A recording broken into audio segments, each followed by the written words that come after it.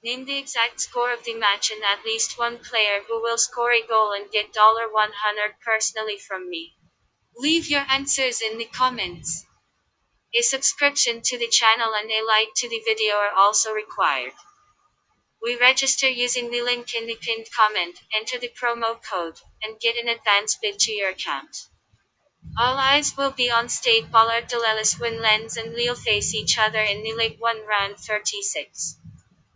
The Yellow Reds are enjoying a season to remember, with the team sitting in fifth position in the standings with three games to go. Lens are determined to represent France in European competitions, but they will have a mountain to climb in Friday's football game. Isiaka Silla remains on the sidelines through suspension, but both Bade and Haidara returned to contention after serving their bans in the 2-1 loss to PA.